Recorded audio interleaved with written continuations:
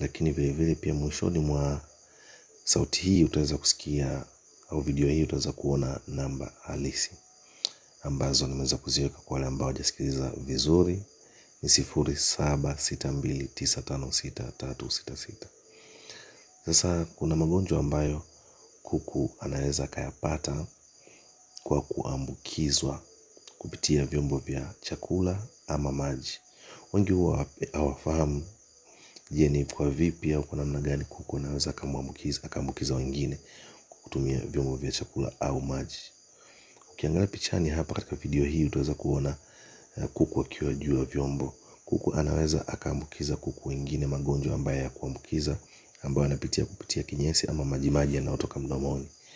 Kwa kushea vyombo pamoja kama hivyo unavyoona unaweza ukapelekea uh, viruses wale wakaingia moja kwa moja kwenye maji na wengine wakiwa wanakunywa wakaweza kupata magonjwa na kuweza kuambukizwa wote kwa pamoja. Lakini vile vile pia kuna baadhi ya kuku ambao kupitia aidha vinyesi vyao kuna wengine wana tabia ya kuweza kukaa juu ya vyombo. Na hii inaweza kusababishwa na baadhi ya vitu vifuatavyo. Kwa mfano kama vile usumbufu ndani ya banda inawezekana akawa ni mgonjwa na anapata usumbufu. Kwa hiyo anatafuta sehemu ambayo atapata utulivu. Kwanza akakaa juu pale ya vyombo vya maji ama chakula. Lakini pale anapokuwa amekaa juu aidha kuna majimaji yanatoka mdomoni au ama baadhi ya sehemu za wazi za mwili kama huku anaponyea pia anaweza kanya kinyesi kikaingia ndani ya chakula ama maji.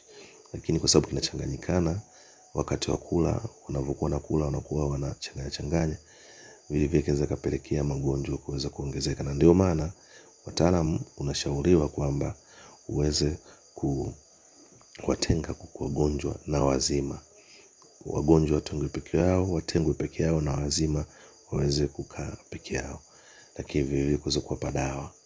Kwa hiyo hii ni baadhi ya njia ambazo namna gani kuku anaweza akaambukiza magonjwa kupitia vyombo hivi. Lakini unashauriwa kuweza kufanya kazi kufanya usafi usafi kwenye banda lako mara kwa mara kwa hapo kwa leo nimeishia hapo lakini niseme tu usahau kusubscribe kupitia youtube channel endelea kuangalia gomba tv ukipenda kujifunza vitu mbalimbali utengenezaji wa chakula cha kuku aina zote wanyama wa mayai utotoleshaji kwa njia ya kienyeji kabisa ya box ama ya kisasa kutumia taa e, mambo ya ufugaji wa kuku kwa ujumla ukipenda kujifunza na ukaribisha.